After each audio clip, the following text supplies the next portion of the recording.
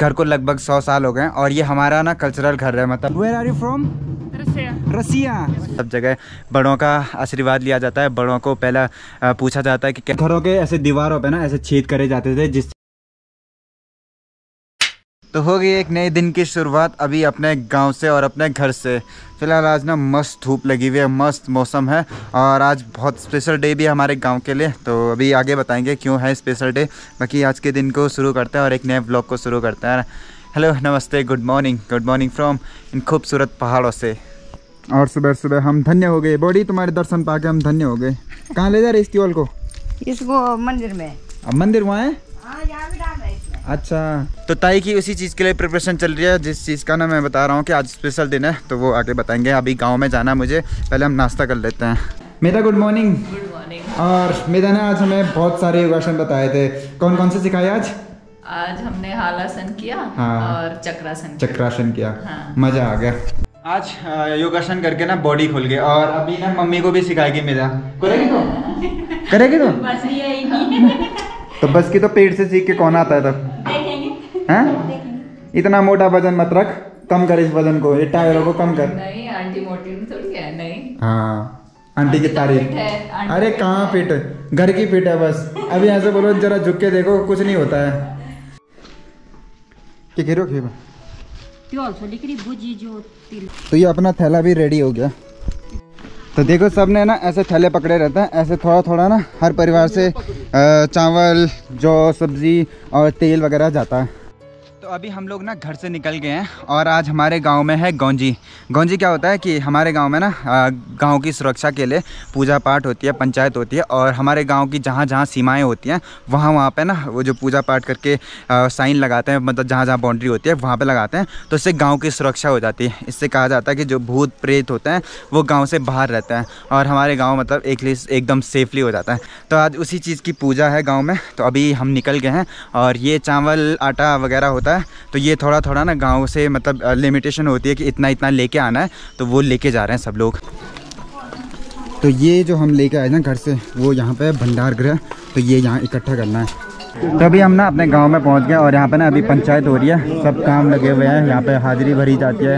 वहाँ पे जो जो मतलब अगर कुछ पैसा इकट्ठा करना है तो वो इकट्ठा होते हैं और जिनको जो काम अलॉटेड होते हैं, वो सब वो काम करते हैं। और यहाँ पे देखो छोटा सा टेंट भी बना हुआ, बाकी सामने एक पूजा हो रही है। काम तो अभी मतलब बुज़ुर्ग बुज़ुर्ग लोग जो हैं, उनका ही काम होता है और हम जो जवान जवान होते हैं, वो सब जैसे सतीश है।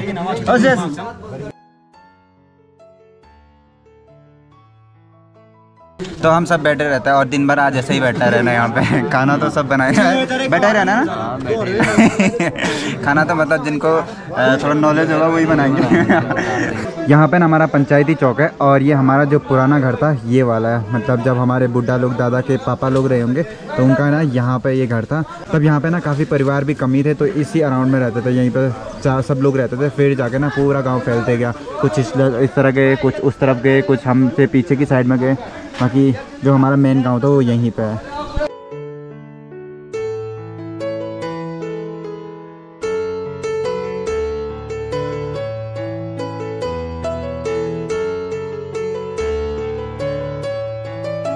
तो अभी तो वहाँ पे पूजा चल रही है और अभी हम ना थोड़ा गाँव के इस, इस साइड को आ गए हैं और यहाँ पे ना एक पुराना घर है।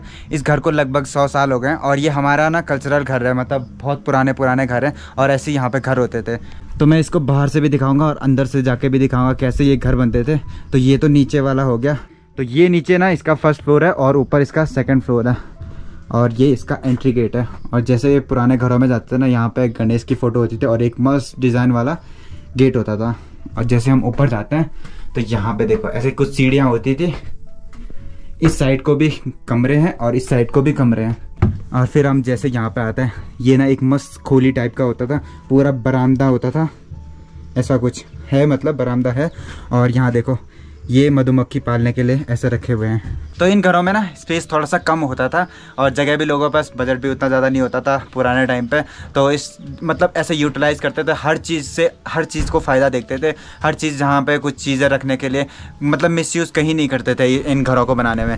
जैसे ये जो बरामदा टाइप का है, इसके ना जस्ट बगल पे यहाँ देखो अलमारियाँ खोली हुई हैं। इसके ऊपर भी ना यहाँ पे कुछ सामान रखने के लिए, जैसे ये स्टिक वगैरह रखी हुई हैं तो हर चीज़ का यूज़ किया जाता था। और इनको बोलते हैं खतरे। खतरे मतलब डेंजरस नहीं, इनको बस ऐसे सामान रखने के लिए यूज़ किया जाता था। और यहाँ अंदर देखो यार, बहुत डाउन होते थे कमरे ना। और इन घरों में ना, नीचे ज़मीन से और ऊपर का ना बहुत कम स्पेस रखा जाता था, क्योंकि यहाँ ना ठंड बहुत पड़ती थी उस टाइम पे।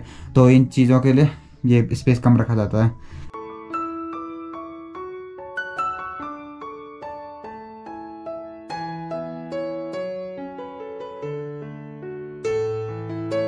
और घरों के ऐसे दीवारों पे ना ऐसे छेद करे जाते थे जिससे मधुमक्खियाँ बैठे और आराम से शहद मिल जाए। तो एक छेद यहाँ पे एक छेद यहाँ पे तो ऐसे करे रहते थे। ये भी रोज़गार का एक साधन है। और ये है हमारे गाँव का एकमात्र धारा। पंजरा। इसको पंजरा बोलते हैं। ये हमारा घर का घर का नहीं गाँव का पंजरा।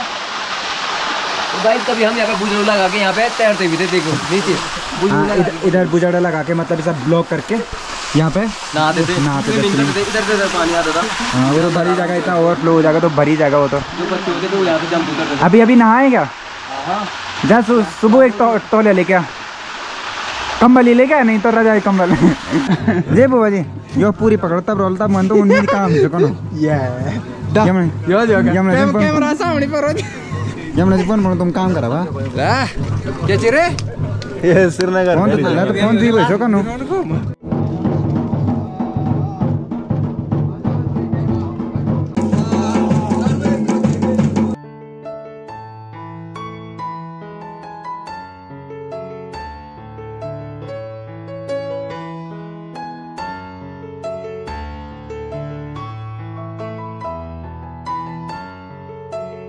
तो अभी जो यहाँ पे आठ पेटियाँ तैयार करी गई हैं और आठ लकड़ी के जैसे ये किले वो बोलते हैं हम इनको और इन्हीं को बाउंड्री पे लगाएँगे। तो ये आठ लड़के लेके जाते हैं। आठ लड़के सुबह सेलेक्टेड हो गए थे कि कौन कौन जाएगा।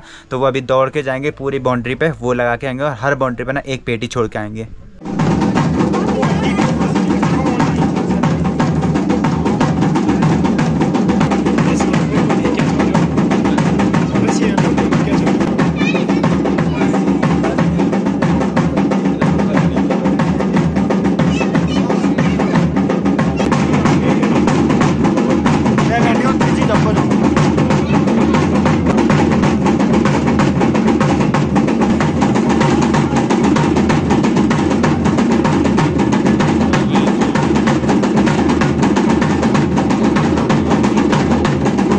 अब जो ये पुजाई है, ये हमें ना यहाँ मंदिरों में लेके जाने जो हमारे गाँव के देवता हैं, ग्राम देवता हैं इधर उधर जहाँ तहाँ हैं तो सारी जगह ऐसा लेके जाना है। तो शायद यही कारण है कि हमारे जो जन्मभूमि है उत्तराखंड, इसको ना देवभूमि उत्तराखंड के नाम से जाना जाता है। यहाँ पर हर बार, हर चीज़ में पहले भगवान को पहला स्थान दिया जाता है। आज भी जब हमारे गाँव में ऐसी पूजा थी, वहाँ पे भी भगवान की आरती करी गई और भगवान के नाम पे ही पूरी बाउंड्री पर घेराबाड़ी करी गई। इससे भी बहुत, और आपने भी ऐसा अगर कभी देखा है, ऐसा कभी गाँव में सुना है तो हमें ज़रूर बताएगा कि आपका कैसा एक्सपीरियंस रहा। और यहाँ से ना आपको अपना गाँव दिखाते हैं यार। यहाँ से भी क्लियर दिख जाता है। तो ये गाँव का ना एक पार्ट है। ये तो मेन गाँव है। बाकी एक पार्ट इस साइड पे है, जहाँ पे हमारा घर है, और एक पार्ट ये है। और एक छोटा सा पार्ट नीचे भी है बट वो अभी दिख नहीं रहा। और यहाँ पे देखो हमारे गाँव की स्कूल है ये। ये नीचे एट तक है, और ये ना फिफ्थ तक है। और हमारे गाँव में आज भी सब लोग परिवार की तरह मिल के रहते हैं। देखो, इतना बड़ा आयोजन किया गया है तो सब लोग अपने घरों से एक एक जना मिल के आए हैं और सब साथ में मिल के काम कर रहे हैं। ऐसा नहीं कि तू देख ले, तू देख ऐसा कभी भी नहीं होता है। हर काम, सब जगह मिल के काम होता है। सब जगह बड़ों का आशीर्वाद लिया जाता है। बड़ों को पहला पूछा जाता है कि कैसा कैसा करके आगे क्या काम किया जाएगा और उन्हीं की तरह, उन्हीं के तरीके से नई जनरेशन चलती है और हमें भी कुछ सीखने को मिलता है। से कभी भविष्य में कभी अगर हमें भी पता रहेगा तो हम भी आगे ऐसा काम कर सकते हैं। तो देखो हमारे गाँव की ना यही तो परंपरा है और यही तो रिवाज है। लोग लोग दूर दूर से आ रहे हैं। Where are you from Russia. Russia. This is prasad we call prasad and you can take this